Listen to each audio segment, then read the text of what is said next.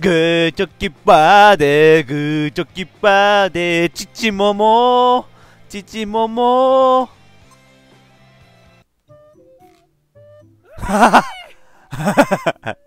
そうだ、前回のパートさ、こういう BGM で終わったんだったな。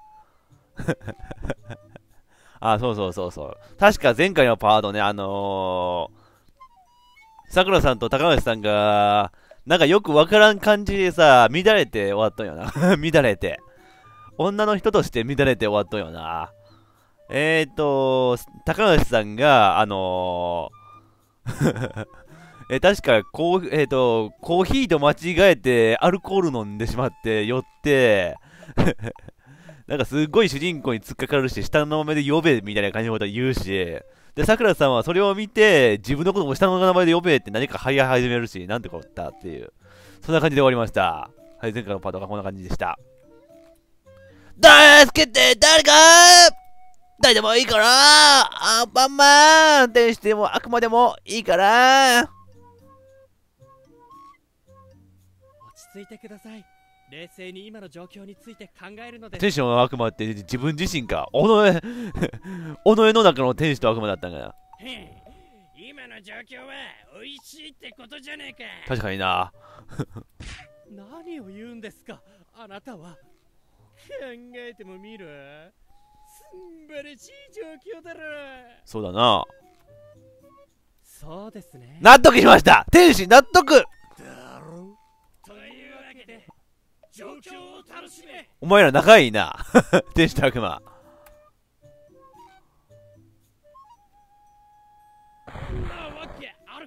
おーっと理性がかかった。理性がかかった。天使と悪魔を抑え込んだ。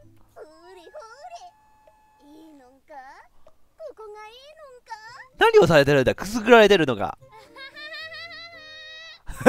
高橋さんどう考えても君は行かれているぞ門前の抑えだった姉子に肛門のハイなテンションになっている後輩。俺ピンチオブピンチ。いやお前ズボン脱がさない。地上と化してるじゃないか。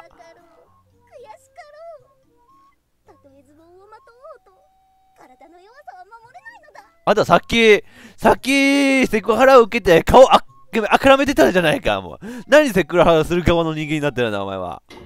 意味わからんねえよいや、全然怖くない。君に関してはめっちゃ可愛いな。怖えよ今この状況が。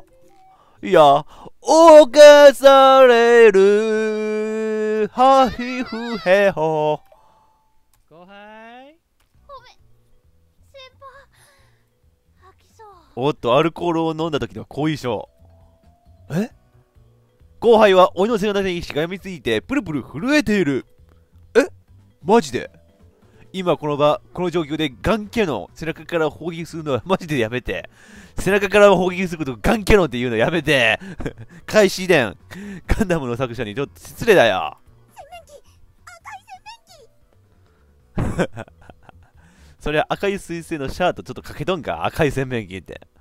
穴が混乱している。やばい。こんなスピードの3倍速い桜さんは初めて見たぞ。こんな時までボケるなよ。誰か冷静な人、お客様の中に冷静な人はいらっしゃいませんか？俺しかいねえ。あー、仕方ない。俺の服使え。決してそれ以外にこぼすな。絶対にだぞ。本当に絶対だぞ。不利じゃねえだからな。ホテルの設備を汚しても弁償とかできないんだぞ。上着を脱いで後輩の前に置く。ついでに姉子には水を取りに行かせる本当に気をつけろよ、本当に。もう無理無理。さらば、俺の5万3000円高いジャケットだったのに。ああ。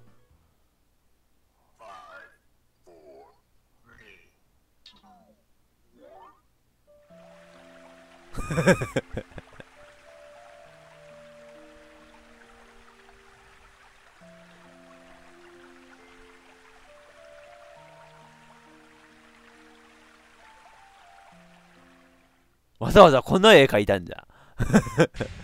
次の日で、下着の購入の件なんだがもう畳みかけるね。このゲーム畳みかけるね。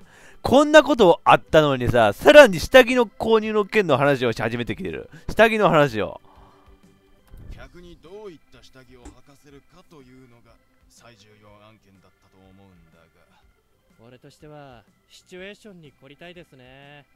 ほでは思い浮かれてください。う浮かれるんだ。お店にやってくる本を買いに来たメガネっ子。おう。うむうむ彼女はいつも買ってる作者の本目当てに数少ないお小遣いを持ってやってきました。なんか見た目が苦学生っぽい感じやもんな。目当ての本がありさあ買って帰ろう。とした一歩目です。はい。どうした？どうした？彼女は見つけたんですお店に置いてあるちょっとエッチで派手な下着の存在に 露骨に恥ずかしがっている。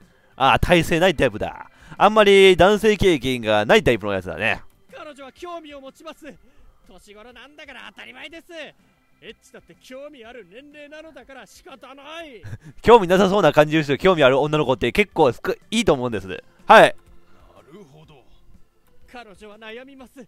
今のお小遣いは本を買うだけの分しかない。しかしこの下着が買える値段だけはある。何下着を買おうという選択肢を入れてるんだ、君は。まさに読むか着るか。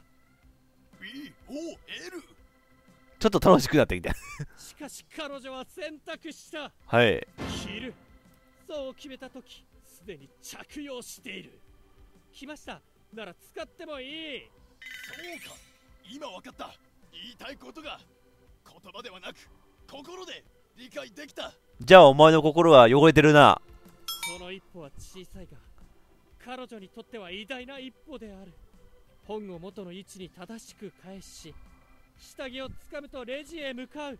しかしここで思わぬ誤算が。なんだ？なんだなんだ？レジが俺だったのだ。知らねえわ。なんだって？何？しかし相手は店員。慣れたものですから気にしない素振りをします。あくまで振りです。そのイケメン店員彼は内心燃えてます。シチュエーション的にもね。今時萌えなんて使わねえよって声を無視できるくらいには燃えています。しかし彼女は彼女は？恥ずかしい恥ずかしい？店員さんにこんなエッチな下着を買ってる子だって思われちゃうと恥ずかしくなりはい。羞恥心で顔が真っ赤になります 羞恥心羞恥心ちょっとやめろ、お前。ヘクサゴンやめろ、ヘクサゴン、お前。引退した島田紳介さんに謝れ。しかしなんでもない話やな、宮それ。側からしてみると男子中学生がエロ本を買うのと何ら変わりはありませんがね 変わりないんかなそう。かなそうかも納得しちゃったよ。しかし店員は止めません下着なんですから何を恥ずかしいことがあるいや、下着だからこそ、な恥ずかしいことがあるんだと思いますけどね。パンツなんだから恥ずかしくないんだパンツだから恥ずかしいもんじゃないのかむしろその照れ顔に興奮するねもうお前、芝帰ろ。ご飯を食べていいっすか？もう牢屋に入れ。恥じらい大事これインディアンの掟店員は聞きますはい。こちらの商品サイズとかは合ってるでしょうか？細かく聞いてきますね。彼女は固まります普段下着はお母さんが買ってくる下着しか着ないのです無頓着なんじゃ自。分で服すら選んで買ったことがなかったんですからあれ、ファッションとか気をつかないタイプ。どうしようどうしたらいいの？おーっと、涙目。これは燃える。彼女は焦りから泣き出してしまいます。メガネっ子かわいそう。しかしご安心を。なんだ？試着室をご用意しておきました。試着室一つでこんな表情変わるか？これで多い日も安心。そうして彼女は試着するのです。黒下着かっこ上下おんなんです？なんです？なんだこの言い方。派手な下着って言ったら赤や紫だよな。何言ってるんですか。彼女は学生ですよそんなバーバーが履きそうな下着を買うわけないじゃないですか。あれ？この前、前もなんかこんな 方向性の違いで喧嘩しそうな感じが。あ、今回も？もしかして今回も？よろしい。ならば戦争だ。水色のストライプって選択はないんです？誰だあんた？普通に横から入ってきてけど、いつから聞いてたあんた？ないわ 却下されてるせっかく出てきたのに却下されてるこの人。何だった？んそれにしても昨夜は大変だったな俺の 5, 5万3000円のジャケット。ゼロ一つついたらさ、フリーズ様の戦闘力になるからな。ゲロ濡れで結局クリーニング出したけど、匂い落ちるだろうか。ワンチャンこれさ、女子高生のゲロがついたあのジャンバーってことで、もしかしたらメルカリで売ったらさ、コアなやつが買っていくかもしれんぞ。もしかしたら5万3000円どころじゃない、もっと高い値段で。考えても仕方ない整理整理っと。あれ？これって、どこだ？ああ、棚の上か。たく、店長もちゃんと置き場を分かりやすくしとけっての。くっ。あとはもうちょっと。よし、届い。て。え？次回！最終回の入り方なんなんこれ？あ？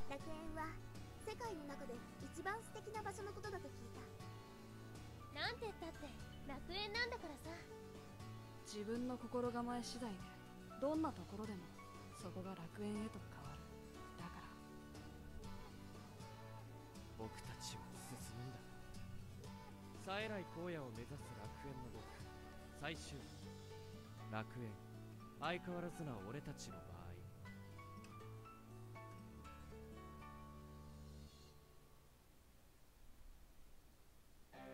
何さらっとかっこいいエンディングの入り方しとんじゃんお前。何その入り方。あのピコバローンって終わったんなんだったん？53 5万3000円どころじゃないもん終わってしまってさ弁償とかになるんだろうな。大丈夫か？終わったよ。終わりましたよ。第1球話というわけで続きやりまーす。間違えた。これじゃないわ。こっちこっち。それにしてもさ、とうとう最終回来ましたよ、これ。第1話からさ、あのー、毎週毎週積み重ねてきてさ、とうとう、最終回の話を解く時が来ました。封印を。キャストさんおよび実況者さん。ひどいセリフ多くて、ほんとすいませんでした。ほんとだぜ、お前。親方。うん、俺めっちゃピュアピュアな人間なんだぜ。そんな人間にそんなセリフ読ませるやめろよ。ピュアピュアな人間なんだと、俺、ちょっと、ちょっと裁判起こすよ、裁判。始めます。最終回やぞ、みんな。おー、来たおー、悠久のスバルじゃ。何今の？わ、怒りも、いかにもさ、結構後半のボスっぽいのが来たぞ。おお、シャーリーにならんし、中誰かおる中誰かおる誰か取り込まれとる 誰か取り込まれとるしよ、もう。グロい、グロい、グロい、グロい、グロい。あ無傷って何さ？こっちは必死になって攻撃してるのに全く効いてないじゃないか。アラーム的なバリアっぽいのはちょっとチートすぎやしません？バリアか、あれ。こりゃ、バンディキュースっすかね。クレスあ、城之内くん。うわ大丈夫か岩尾うんうんそうか。それならいいんだ。あれお前なんか、前の会った時は敵だったのにさ、すっごい仲良さそうな味方みたいになってるやん、あんた。だが、気合入れていかないとやべえぞ。おっさどうやらあの中心部の光が例の石みたいですな。なんか石探しちゃったもんな。岩尾かっこいいって。お前な。なんかさ、せ、なんか、なんかおるよね。敵だったのにさ、なんか味方になったらいきなりかっこよく見えるキャラって。じゃあ、あれを壊せば多分な。多分とは頼りない言葉である。しかし、今はやるしかないのだ。俺があいつの動きを止める。いいのいいも悪いも誰かがやらなきゃいけないだろう。そういった岩の腕はかすかに震えている。わ、怖いな。怖いんだな。誰かがやらなければいけないのだ。でなければ、死一瞬だけ考えた想像に身震いする。わあそんな顔するなって。なせばなる、なんとかなる、777の精神なんだろう。777。777の精神か。ずっと前にこ話した言葉、覚えていたのか。そうだね。そうだ。弱気になるんじゃない。けどさ、これグロテクスクだろ。グロテスクやな、お前。対象年齢いくつやねん、これ。ワンチャンバイオハザードの生物兵器やぞ、お前は。ていうか、高橋さんが考えたよな、この話。多分、こういうモンスターも高橋さんがこんなモンスターにしてくださいみたいな感じにしたんだろ高橋さん、この作品作ったらいくつの時だったっけ？想像力どんな方向に向かってんの、高橋さん。すごいな。え？さて、覚悟は決まったかうん。それじゃあ、行くぜそうだ負けるものか。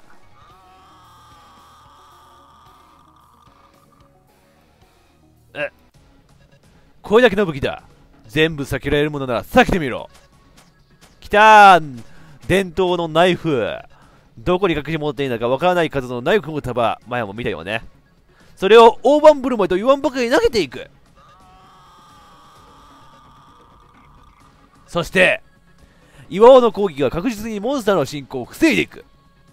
いくら無敵のバリアを張っていたとしても進まなければそれまでなのだ。ナイフが尽きるか向こうの体力が切れるか。岩尾は勝負に出たのだ。今だ行けクレス。僕は走る。敵に向かって走る。なぜ？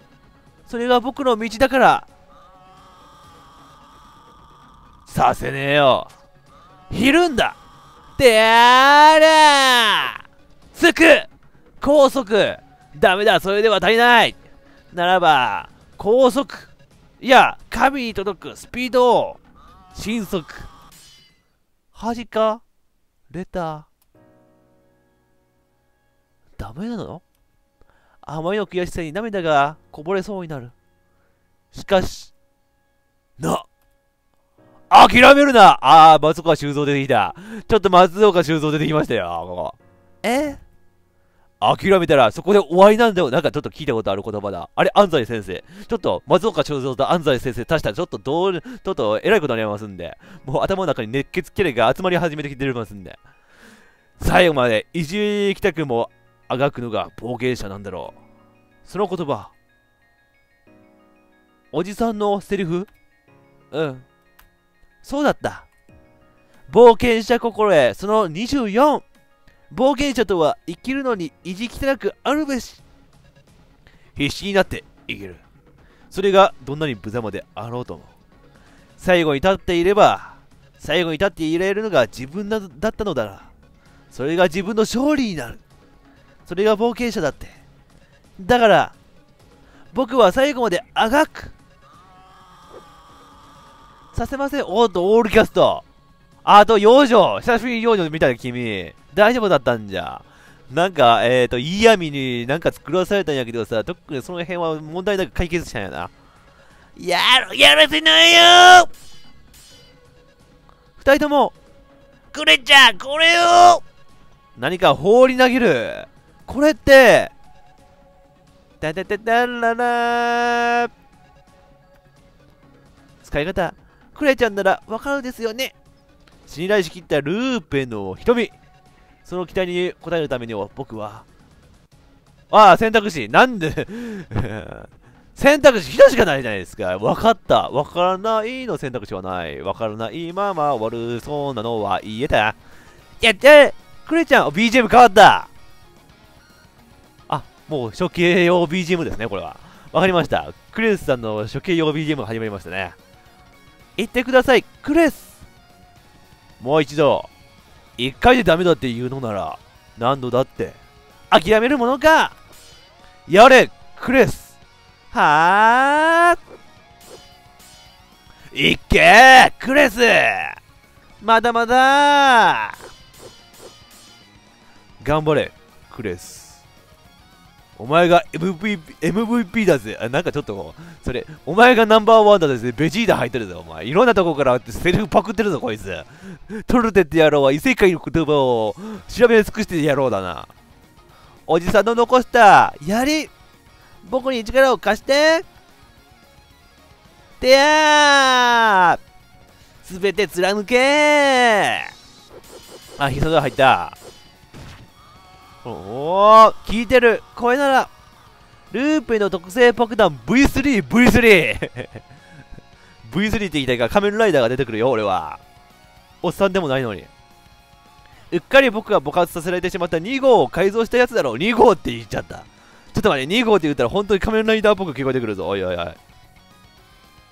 これを持っていきなよ。バリアの貫 通したところに投げ入れ、僕は後ろに飛ぶ。あららららららら藤子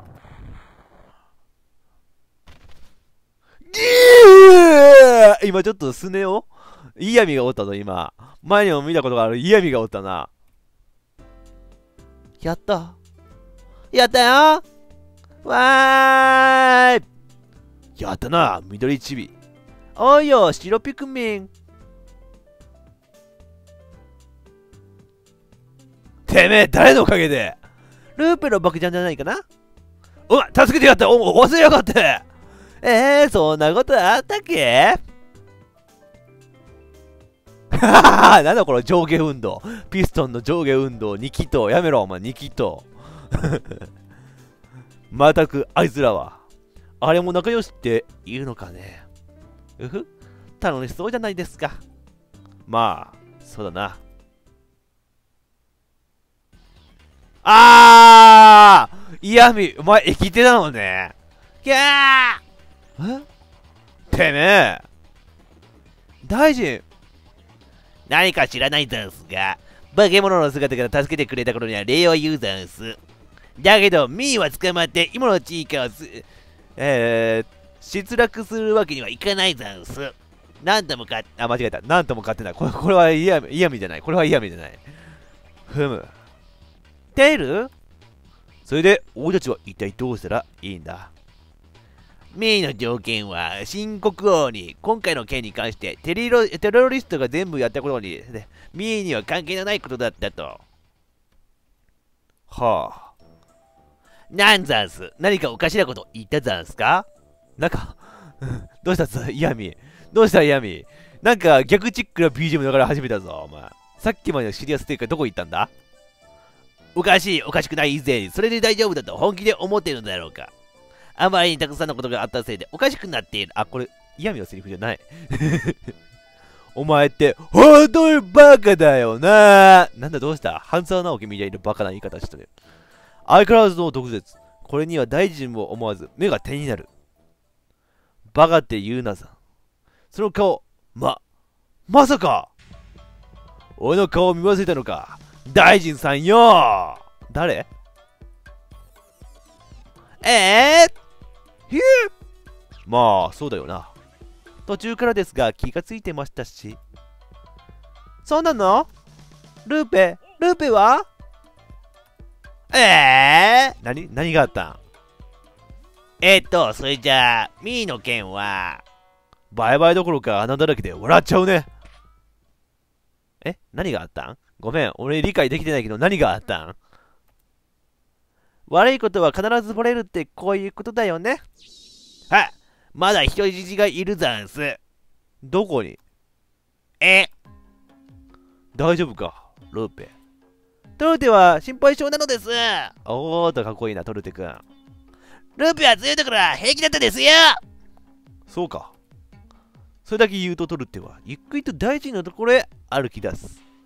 え、右がいいか？左がいいか？はい。ミーが選ぶざんすか無言を答えたとした圧力。これは怖い。あ、あ俺に選択肢、選択権あるんじゃ。これ両方ともみたいな、これなんか。セーブはこれです。レコーディング、セーブ。上書きセーブ。みんな、右と左どっちがいいかな？テール君右利きなのかな？左利きなのかな？わからんけど。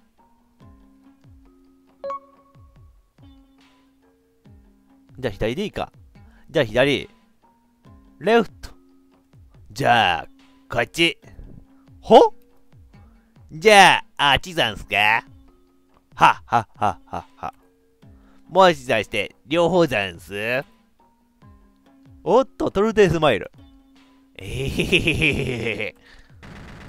おろろろろろろろ出たあースタープラチナスタープラチナが入ったジョジョ第3部かこれジョジョ第3部だったわああとこれさどう考えても拳の音ではない拳の音ではないよこれ わあスタンド使いだったわ。ああまだ続くまだ続く。まだ続くよトルフテ君。ああまだまだ続いております。まだまだ続いております。何コンボ決めてるのでしょうか。そろそろさ100コンボぐらいいってるであろうか。おら最後の一撃。うぐうわ。お前の範囲はただ一つ。え、やめろ、お前。この長いから来たらさ、俺エンターキー押したらさ、お前は俺を怒らせたみたいなこと言い出すんじゃないの？言ったー！言ったー！似たようなことは言ったー！俺を怒らせたって言ったー！一見落着でだな。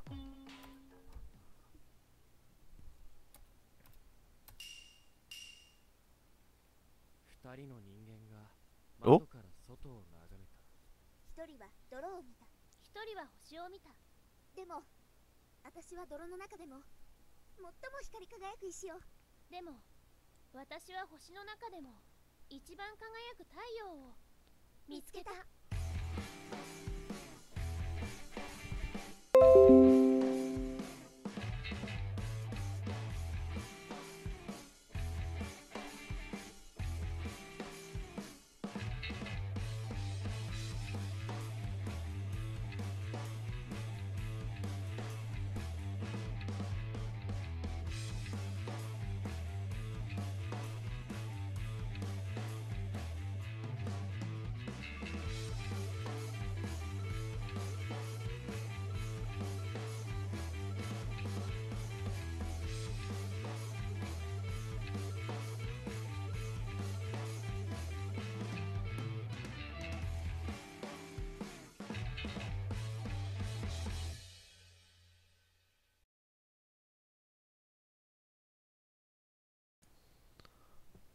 グラグラなっとるな。あの、前、あの、前のあの、ラストのところかな。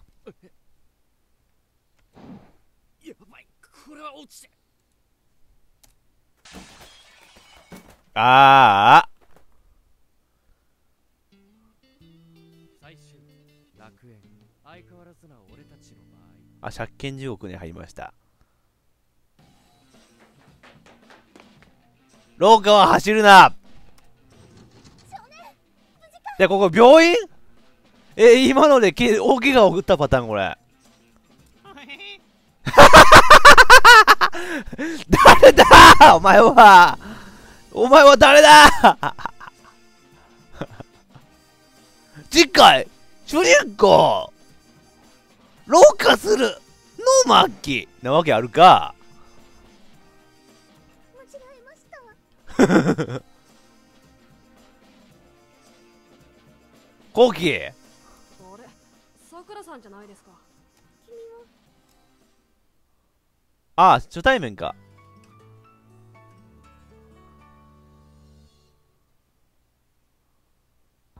まったく兄貴も不注意ですよね。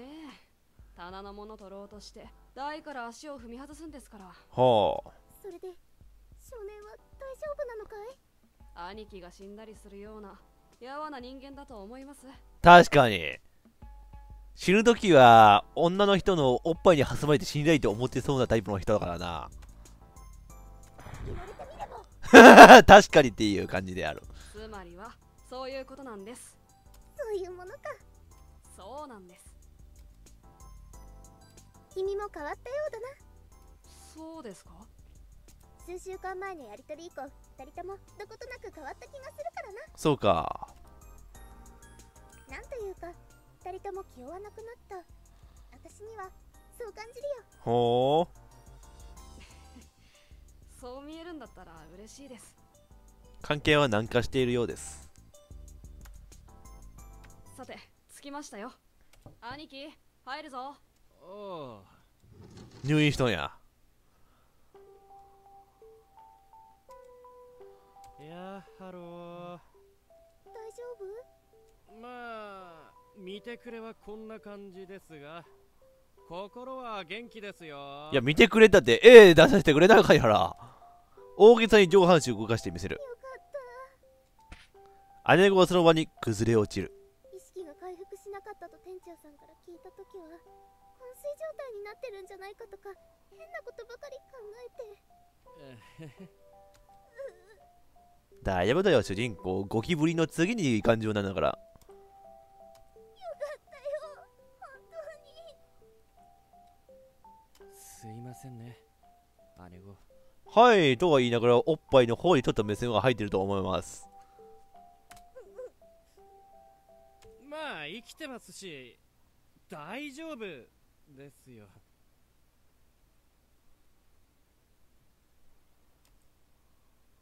姉子実は。なんだ？右腕を上に上げる。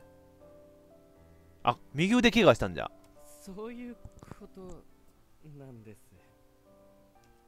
右腕がどうしたって？落下した時、右腕から落ちたらからバッキリと言ったんだよ。見事にな。折れちゃった。笑うしかないね。もう、笑っちゃうよね。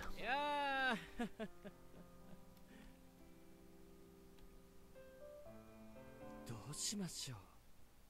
とりあえずは入院じゃない？あ、コウキお前普通のこと言うなよ、この。この感動的な曲のところで、普通なこと言うな、お前。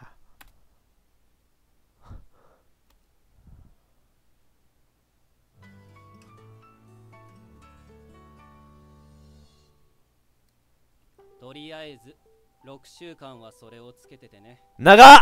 やばい、公開までどんだけあるん？医者に言われて一番一緒に残ったことがそれである。約1週間の入院と6週間のギブス生活。医者の下した判断。6週間という長い時間の間、俺は、呪腕使いのような姿で過ごさなければならないってことだ。6週間ですか長いな小学生とかだったらギブスをつけて登校というのは一種のステータスみたいなものではあったがさすがに今はそういうのは卒業している。むしろ黒歴史なんぞない。え ?Change before you have to. な。右手を思いっきりやってるからね。もう少し軽かったら1ヶ月だろうけどね。連続で写真を見せる。ほらここ綺麗に割れてるでしょ。うーわ。見事に割れてますね。綺麗に折れている定規で引いたような線みたいなそういった綺麗さじゃないけど割れている。まあ綺麗に割れているからちゃんとくっつけば綺麗に治るさ。複雑な折り方をしていないのだからまだいい方と笑いながら医者は言う。確かに。落ちた時に頭とかも打ってるみたいだし簡単な検査しておこうか。どんな検査だ？はあ。落ちた時に上に積んであったものも一緒に落ちてきて、それが頭にぶつかって気絶したんだったな。第一関係者は、店員の奥さん。鼻が効いたんだろうな、鼻が。大きなことから人も気をつけ、自分を発見。即座に救急車を手配して、俺は気がついたら病院でしたとさ。これって、労災扱いになるんだろうか。まあ考えたところでしょうがないな。